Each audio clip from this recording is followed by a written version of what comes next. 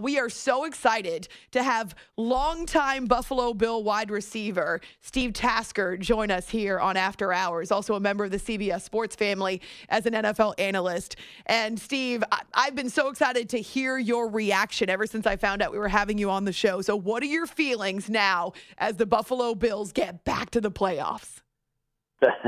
it's uh, listen, that's the way to get into the playoffs right there. That's the best way ever. Forget that being the one seed uh, having it come so unexpectedly and having a couple of things have to go your way, playing well that day, and then having the Bengals come in like that, and having everybody see it together, the entire fan base and the team is unbelievable. In that moment, as I was watching the videos from inside the Bills locker room, so Kyle Williams with his kids, and then seeing the reaction of fans uh, watching on TV the end of the Bengals Ravens game, I got chills just seeing it from someone who's a neutral observer. What about you? As you were seeing those videos and the reaction in the moment, what were your emotions? Well, I, I really, I, I've watched that locker room footage 10 times and would watch it another 10 times probably. Uh, I remember how unbelievable that is. And one of the reasons the team I was on in the 90s was so special and went to four straight Super Bowls was because those guys knew each other so well and loved and respected one another so much. And that team the, that Sean McDermott has put together is exactly like that. They've made great effort to get to know those guys personally and, and the players themselves knowing each other. And the vibe coming out of that locker room is really, really special with this team. And to see those guys genuinely love each other and, and enjoy that moment together after all their hard work and when nobody really expected them to do that this season, uh, I know how special it is. That you can't replicate it any other way. There's nothing in life that is like doing and accomplishing something like that with mm. guys that you love and respect and doing it together. It's just an unbelievably once in a lifetime moment. So, have you communicated with some of your former teammates that you did the same thing with? yeah, I have a text loop with. I call it the the five living presidents text loop. It's it's Jim Kelly, Thurman Thomas, Bruce Smith, Andre Reed, Cornelius Bennett, Daryl Talley, myself. Um, all those old guys from that '90s team that went to four straight Super Bowls. We have a text loop that goes on and on um, and during Bills games, it's pretty hilarious to see these guys who, you know, on the, on, they're on the one hand they're Hall of Fame caliber guys. Some of them are in the Hall of Fame. To see them drop back into the fan base and just go up and down with the emotional roller coaster with everybody else, um, they those guys were chiming in last night. They absolutely love it. Uh, those old guys are cheering really hard for this new edition of the Buffalo Bills. Well, that describes perfectly the perspective of Thurman Thomas when I had a chance to sit with him last year and we did a Q&A in Buffalo and uh, he told stories about you as former teammates but also still so passionate about this particular group of Bills and wanting to see the playoff drought come to an end. It, it was pretty neat to think about the perspective of guys who have been there, done that, but are still rooting for the ones who haven't had that experience yet in Buffalo. Yeah, and one of the really interesting things about it is because um, it happened in Buffalo with that team, um, there's a great bond between that city and its team. It's really part of the fabric of everyday life. Um, people in Buffalo are all Bills fans. It's an, a really high percentage of the fans in that town are Bills fans. Now you get a spring, sprinkling of other fans, like and in other big cities, there's a wide variety of fan bases that are represented. In Buffalo, there's only one. And so every place you go, um, it's it's populated by everybody's Bills fans, and people in Buffalo live in Buffalo because they were raised there. Nobody moves to Buffalo, so you know the whole population is very provincial and very like-minded. And for old guys like me and Jim Thurman, Bruce Andre, Daryl Talley, it's great to see it happen for that city, um, for that fan base, uh, because some of those people were sitting in the same seats as they were sitting in when hmm. we were going to the Super Bowl in the 90s. They still have the exact same seats. Uh, they still wear the, the same getup, and we and kind of recognize them because they were there for all those years. And to see them finally get rewarded with a team that's going to the playoffs, I think that's the most fun part of it for the old guys to think about. That's absolutely awesome. So I guess it doesn't surprise you when you hear that the fans in Buffalo thousands of them have been contributing to Andy Dalton's foundation in the wake of Sunday's victory over the Ravens. No, you know what? It doesn't. It, it I didn't. You know, who knows that, that that that would even be a thing. You know, when when that happened. But then when some word got out and somebody came up with that idea, word gets around uh, the Bills fan base really quickly. They're a very intertwined group, and once it started going, and it was uh, it's an obvious, it's such an obvious Buffalo thing to do that it took off like wildfire. Last I heard, Andy Dalton had a Twitter update that they're up over a hundred thousand dollars with almost forty five hundred don- different donors. It's just an amazing story, and it, and it doesn't surprise me.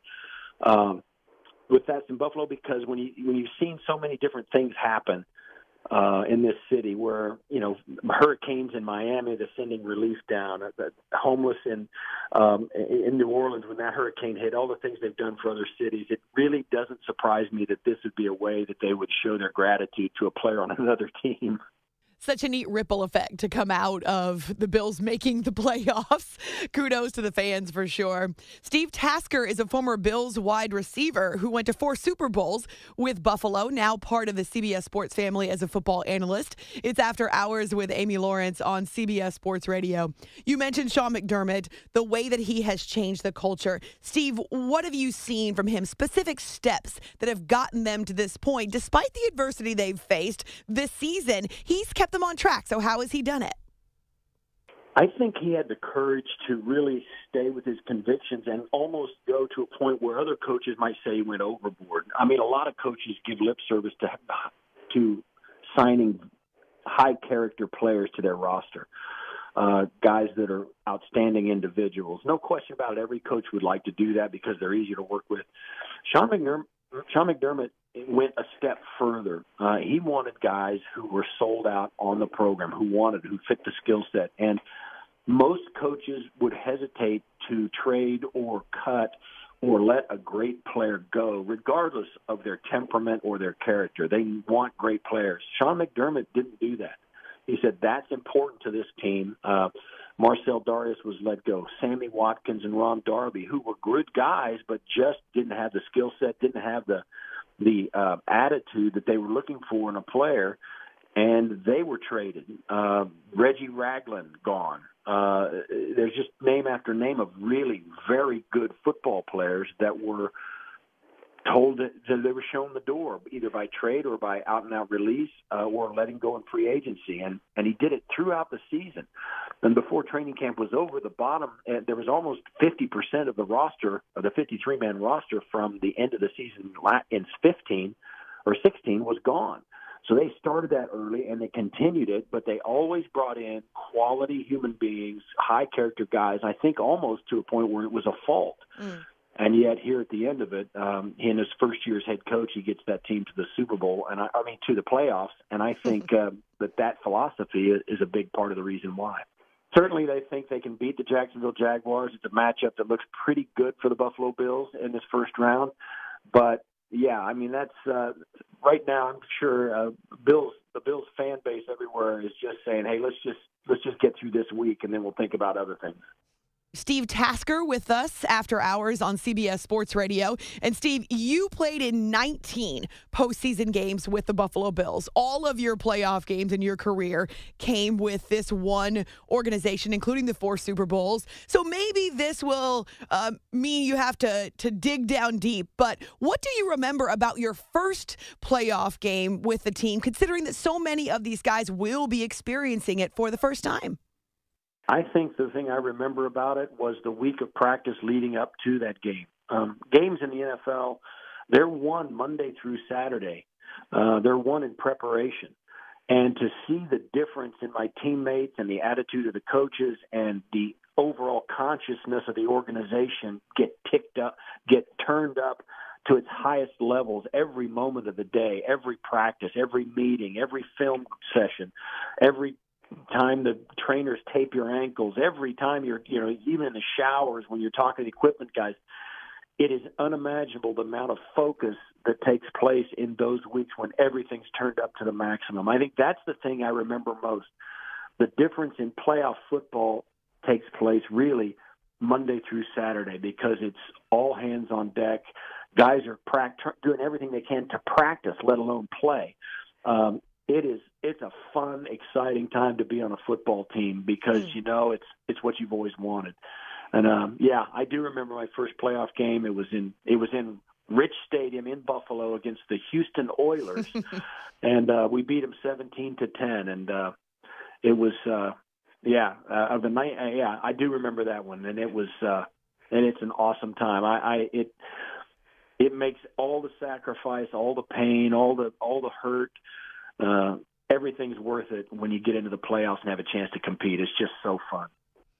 Love the fact that we're going to have so many new teams experiencing the postseason for the first time in a long time. So we have the stalwarts, Steve, like the Chiefs, the Patriots, the Steelers, even the Panthers, the Falcons have got some recent experience. And then we've got a bunch of teams that are kind of going into this blind. It's been so long. The Jags, the Titans, of course, the Bills, the Rams. So when you look at the playoff field, which of the new teams, the fresh blood, could actually make some noise this year? I think it's the New Orleans Saints. Uh, Drew Brees is still throwing, pushing 5,000 yards a, a year. I mean, the guy's he's the only. Most guys have only done it once. There's only five of them, and he's done it five times. Uh, this year, uh, with Kamara as new running back, the rookie running back, as well as Ingram, uh, and their defense is playing ex- so much better. Uh, that gives them a chance. They're going to be able to put points on the board against any defense in the NFC bracket, and I think the I think it's really the New Orleans Saints that could go all the way. They were a little bit under the radar. Uh, they were in a dogfight to win that division with Carolina and to get into the playoffs. But I think with Drew Brees uh, and Sean Payton, who have been there before a long time ago, it's been you know they're pushing a decade out of the Super Bowl this is a this is a group that could do it. I, I like what I saw. I saw him play once this year, and I was really impressed with him. Drew Brees has still got it, and mm-hmm. I think that's a team that other teams in the NFC are going to have to look out for. In the AFC, I think it's the Chiefs. I think those guys. I think Andy Reid's got a bunch of guys who started out unbelievably fast, and I said then in the early part of the season, I don't think they can keep that up for 16 weeks. And of course, they didn't. They almost lost it but they found it again, and now they're flying as high and fast as anybody. So I think the Chiefs could scare some people. I can't wait to get started. Can't wait to see how this plays out. Steve Tasker is a longtime receiver with the Buffalo Bills. Congratulations on being able to enjoy this, especially with your former teammates who have waited so long. You can find him on Twitter at Steve Tasker89. And of course, he's part of our CBS Sports family as a football analyst. Awesome to talk to you, Steve. Happy New Year. Happy New Year to you. Thanks, Amy.